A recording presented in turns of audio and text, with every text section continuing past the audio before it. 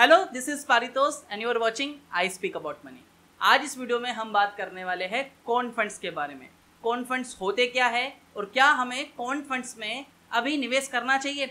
तो कौन फंड्स आपकी वो म्यूचुअल फंड स्कीम्स है जहाँ पे फंड मैनेजर एक सेट ऑफ़ रूल्स के हिसाब से, एक एल्गोरिथम के बेसिस के हिसाब से स्टॉक्स को सेलेक्ट करता है और उसमें आपका पैसा निवेश करता है। अब यहाँ पे फंड मैनेजर का कोई एक्टिव पार्टिसिपेशन रोल नहीं है, कोई रिसर्च रोल नहीं है उसने अपने सिर्फ़ एक सेट ऑफ़ रूल्स बनाए हुए हैं, एक एल्गोरिथम बनाए हुए हैं। ये एल्गोरिथम किसी के बेसिस पे भी हो सकता है। लाइक जैसे कि मैं माँ बोलूँ एज अ फंड मैनेजर कि मुझे ऐसे स्टॉक्स में निवेश करना है जिनका रिटर्न ऑफ़ कैपिटल एम्प्लॉयड पंद्रह परसेंट से ज़्यादा है, जिनका रिटर्न ऑन इक्विटी पंद्रह परसेंट से ज़्यादा है, या जो स्टॉक्स अभी रिसेंटली अपने एवरेजिंग को क्रॉस कर रहे हैं। सेट ऑफ़ रूल्स एल्गोरिथम किसी भी तरीके की हो सकती है मोमेंटम की हो सकती है, आपका वोलेटिलिटी की हो सकती है। इन्हीं सेट ऑफ़ रूल्स के हिसाब से फंड मैनेजर आपके स्टॉक्स को सेलेक्ट करता है, एक लिमिटेड स्टॉक्स सेलेक्ट करता है और उसमें आपका पैसा निवेश करता है।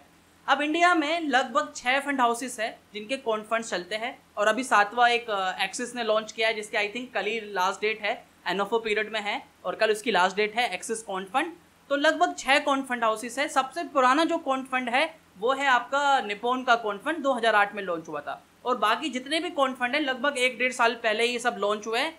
रीज़न वॉज़ दिस कि पहले जितने भी कौन फंड्स अवेलेबल थे they were not performing well even they were not beating their benchmark but even in the last one year rally we all know market has perform very well market has rallied very well तो जितने भी funds हैं more and less they they all they have perform very well तो इस uh, इस rally का फ़ायदा उठाने के लिए जितने भी फंड हाउसेस है लगभग जितने भी फंड हाउसेस है लगभग चार पाँच फंड हाउसेस ने इन्हीं एक डेढ़ साल में लॉन्च किया है।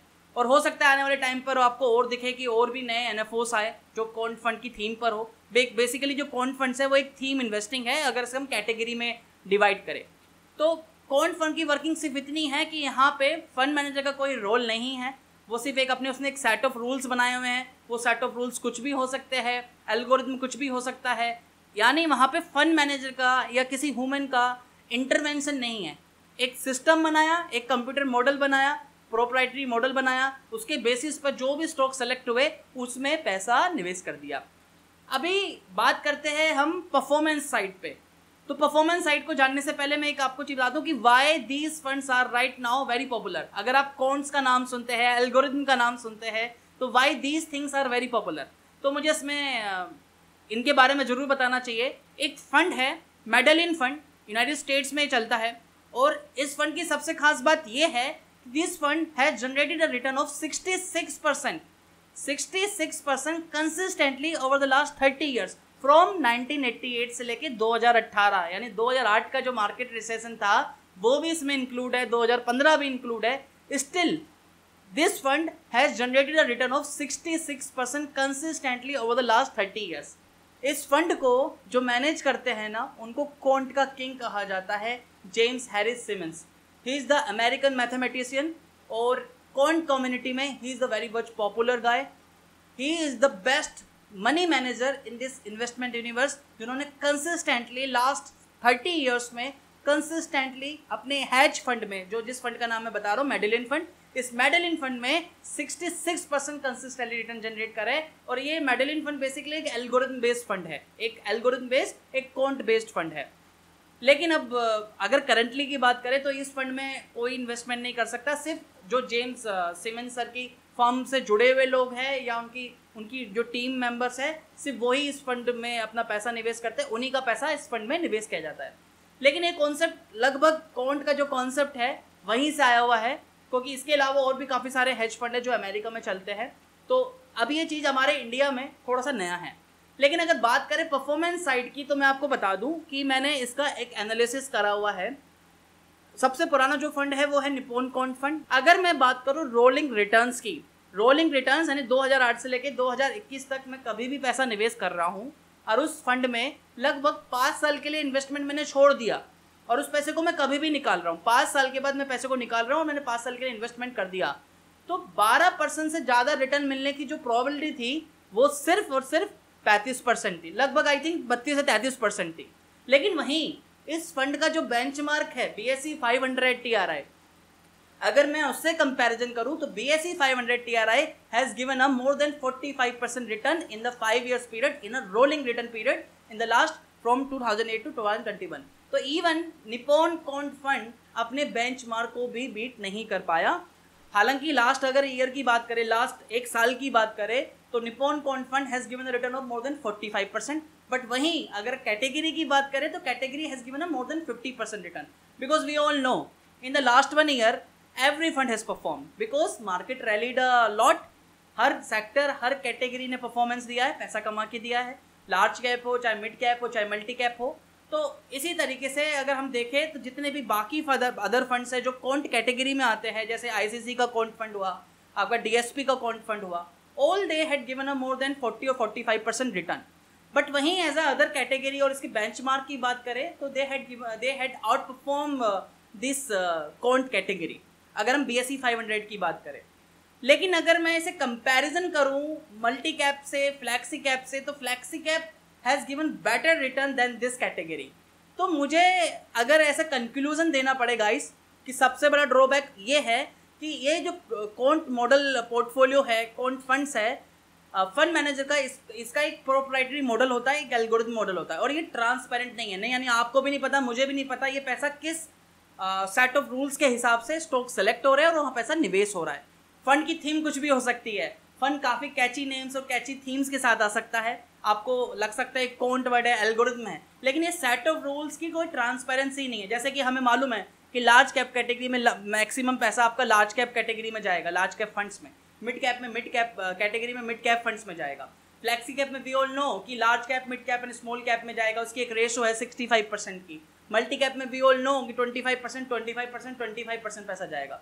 तो वहाँ पे वी ऑल नो कि मेरा सेट ऑफ़ रिस्क क्या है, मेरा सेट ऑफ़ रूल्स क्या है। लेकिन ऐसे कॉन्ट फंड में कोई सेट ऑफ़ रूल्स ऐसा है जो डिस्क्लोज नहीं है, कि सिर्फ़ प्रोप्राइटरी मॉडल्स पे चलता है तो एक तो ट्रांसपेरेंसी नहीं है।